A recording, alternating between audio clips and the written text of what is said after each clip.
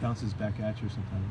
It's a real glitzy place, you know. When, when you you come out of a uh, out of a football locker room ready to play football, and you go to a, into a you know a nightclub, you know, it's kind of like you're in the club, you know. No wait a minute, you know, you, you got to play ball, and then you come back to the club, and they're all, you know, it's, it's unusual. Yeah. And then they're